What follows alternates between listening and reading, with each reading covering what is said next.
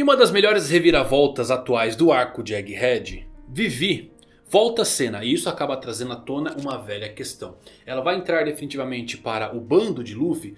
Quais os segredos que a família Nefertari esconde e podem nos revelar? Existe algo que confirme o décimo comandante Yonkou dos Chapéus de Palha? Existe sim. Quer saber tudo sobre o próximo membro dos Chapéus de Palha? Então se liga que eu vou falar nisso agora.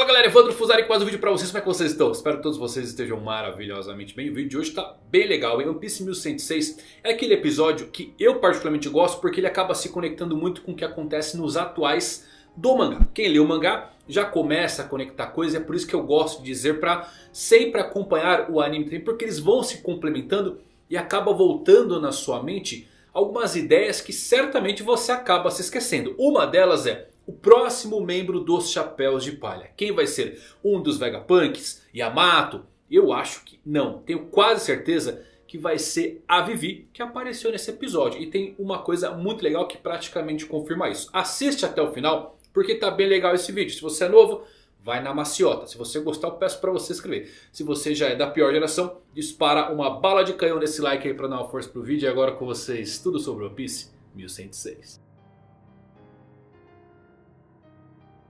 Então vamos lá meus amigos, nosso episódio ele começa com os agentes da Cip Zero que permaneceram na fase Fábio e eles agora estão sendo atacados pelo novo modelo pacifista chamado de Mark III.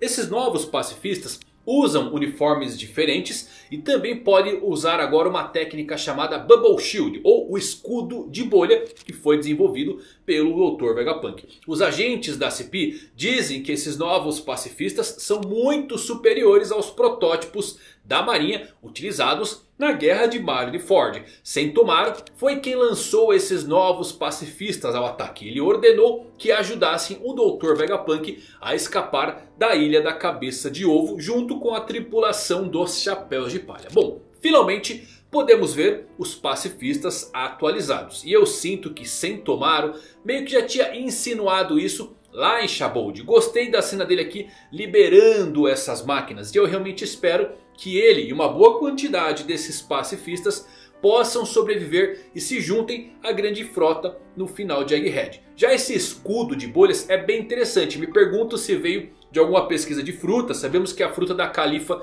era uma fruta da bolha. Mas nem de longe vimos ela com um escudo dessa magnitude. Pode acabar sendo algo usado a partir dos revestimentos de navios feito em Shabold, já que as bolhas feitas lá, lembrem, aguentam enormes pressões e não à toa vimos navios que podiam ir ao fundo do oceano com essas bolhas de revestimento.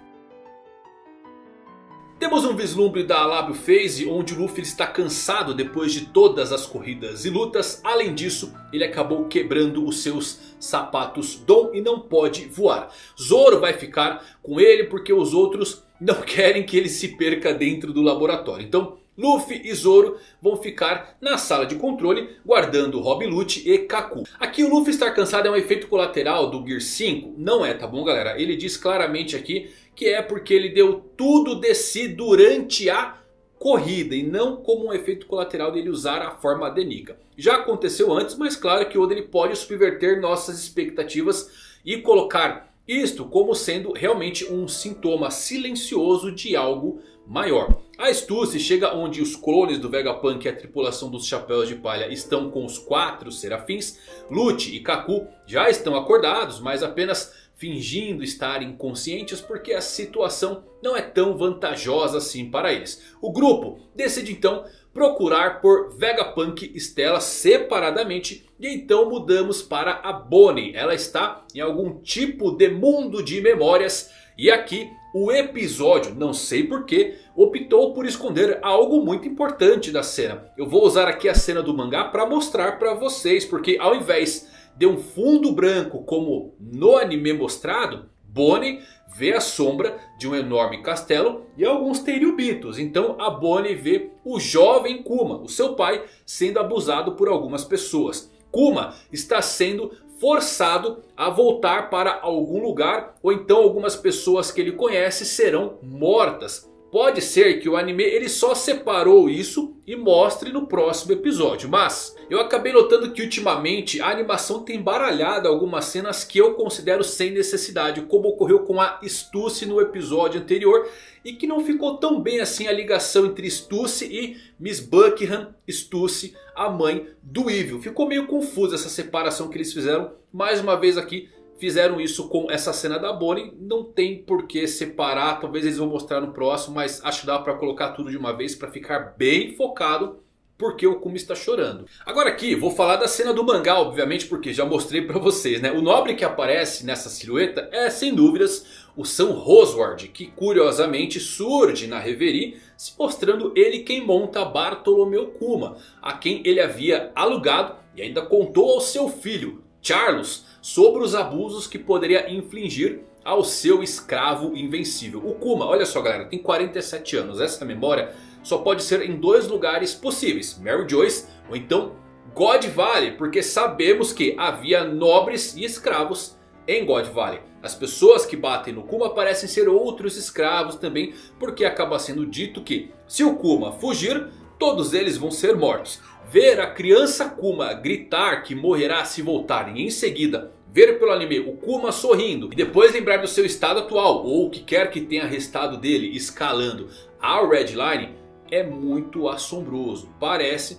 que estamos nos preparando para a despedida adequada de Kuma e te garanto vai ser bem difícil. De volta ao laboratório, Pitágoras está procurando pelo verdadeiro Dr. Vegapunk, só que de repente Pitágoras se vira porque sente algo e a parte do prédio onde Pitágoras estava explode. As barreiras do domo frontal caíram novamente e então os clones de Vegapunk não podem fechá-las. O Shaka está tentando resolver esse problema porque se eles tentarem sair agora vão ser acertados pelas suas próprias defesas. E bem, acaba sendo declarado, deixando bem implícito nos episódios anteriores que temos um traidor no laboratório. Eu poderia citar aqui o Caribou, para quem só viu o anime, né? que ele sumiu nesse arco. E só que tem que ser alguém que conhece bem a ilha, galera. Seus sistemas defensivos, o que acaba fazendo sentido o traidor ser unicamente um dos satélites do Vegapunk. Mas quem? Basta lembrar dos aspectos de cada Vegapunk e cada aspecto simbolizando uma abordagem direta à ciência.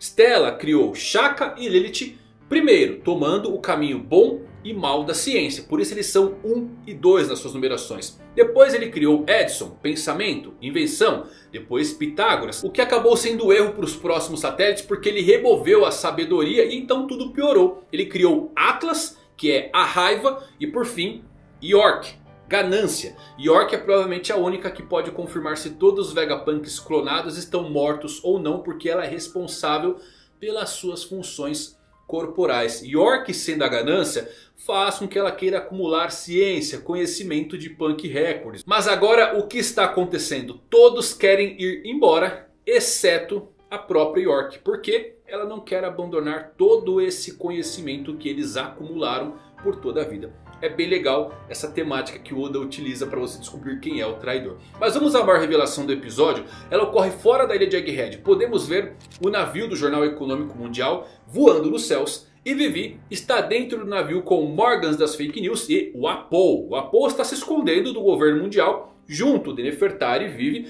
E diz a Vivi para falar baixo, já que talvez haja dispositivos do governo mundial escondidos em algum lugar da nave. O Morgans está pensando em uma manchete depois de escutar que o Luffy está na ilha de Egghead. Yonkou Chapéu de Palha Luffy tomou o Vegapunk como refém assumiu a ilha de Egghead e está prestes a começar uma guerra contra a marinha. Olha a manchete dele, né? O governo mundial vai obviamente adorar essa chamada. Vivi está com muita raiva do Morgan porque sabe que o Luffy nunca faria uma coisa dessas. Mas, como o Morgan diz, ele é o único que pode abalar esse mundo. Não importa se é verdade ou mentira, já que o jornal é puro entretenimento. Vamos lá galera. Essa é a primeira confirmação que a Vivi está viva. Tivemos informações sobre o Cobra ser morto no episódio 1081. E lembram quando saiu o último Big News da Reverie e o Apo ligou para o Morgans dizendo que tinha algumas informações para dar para ele? O Oda está realmente dobrando aqui esse aspecto do Battle Royale dentro da saga. Trazendo todos esses personagens e vilões do passado para ter pelo menos alguma relevância na história. A pergunta que fica é... Vivi vai se juntar aos Chapéus de Palha? Isso é confirmado mesmo? Vale lembrar galera que a Vivi ela já é um Chapéu de Palha. No seu Vivrecard e outros databooks ela é listada como uma integrante dos Chapéus de Palha. E se o Morgan soltar a notícia que a Vivi costumava navegar e ser uma pirata junto do Yonkou Luffy, aquele que tomou a ilha de Egghead, ela não vai ter escolha porque vai virar um grande alvo da marinha e de outros piratas. Uma outra coisa que eu guardo é que Ray Lee afirma que os Chapéus de Palha podem chegar a uma conclusão diferente do que os outros piratas Roger chegaram em Laugh Tale. Agora quem lê o mangá está nos atuais... Olha como isso daqui é importante, por isso que eu digo que é sempre bom rever o anime para deixar as coisas frescas. E se parte do motivo da interpretação dos Chapéus de Palha ser diferente, é porque eles teriam alguém da família Nefertari navegando com eles ao invés de um Kozuki, como foi o caso de Oden. Talvez Vivi aprendendo a história da sua família. Porque eles faziam parte dos 20 reinos que lutaram contra o reino antigo. E porque escolheram não ascender ao status de nobre mundial. E ir morar acima da Red Line.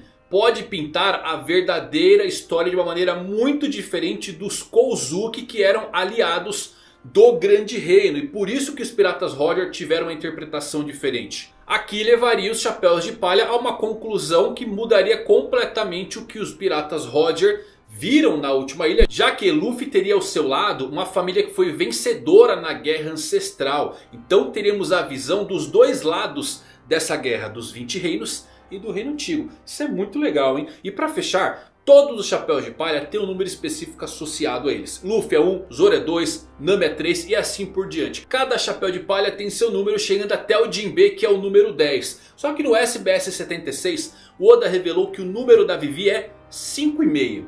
Dobre esse número pois será a segunda vez que a Vivi vai se juntar ao bando. E o que você acaba conseguindo? Isso mesmo meus amigos, o número 11 que coincidentemente seria o número que o próximo Chapéu de Palha teria se entrasse no bando. Então Vivi voltando para os Chapéus de Palha sendo importante em Laugh é sim uma das melhores sacadas que Oda pode fazer. E isso torna Vivi praticamente confirmada como tendo o seu retorno ao bando. Interessante isso né galera. Os Piratas Roger tiveram uma interpretação talvez porque eles tinham Kozuki Oden que fazia parte de Wano e que eram aliados do reino antigo. Só que Nefertari Vivi, e quem leu o mangá sabe a importância desse nome nos tempos atuais. Estando junto do Luffy poderia dar um significado diferente. Porque Luffy aprenderia os dois lados da guerra. O que, que motivou cada lado? Quem é certo? Quem é errado? Né? Lembram disso nos capítulos atuais? Que nem o próprio Vegapunk, dando spoiler aqui, mas bem de leve. Né? O Vegapunk não consegue saber quem está certo ou errado na guerra que iniciou no século perdido. Então, a Vivi pode ser aquela que vai ilustrar bem para os chapéus de palha. E ela retornando para o bando é muito legal. Tudo porque a fruta da patinha do Kuma pode acabar nas suas mãos. Sim meus amigos, a fruta de Kuma, caso ele venha morrer nas mãos de Vivi, é uma coisa muito legal. Tudo porque a fruta da patinha do Kuma é uma patinha de gato. E se você voltar em Arabasta, eles adoram os gatos. Sim, tem gatos nas tumbas dos reis. Você tem aqueles gatos marinhos que a Vivi não deixou os chapéus de palha matarem. Então você tem uma conexão aqui da fruta da patinha com Arabasta. E Vivi é deveras importante. Número 11 da tripulação do Luffy. Eu acho que é a minha aposta favorita nesse momento. Tem outras opções, claro. Yamato, Pony, quem mais? Crocodile. do Flamingo. Pode entrar um monte de gente aí. Mas a Vivi é a que tem maior porcentagem, sim, de voltar ao bando e se tornar muito importante para a trama a partir desse ponto. É isso, meus amigos. Espero que vocês tenham gostado desse vídeo. Tem alguma teoria aí? Deixe nos comentários. E se gostou, deixa um like. Até a próxima. Valeu por assistir. Fui.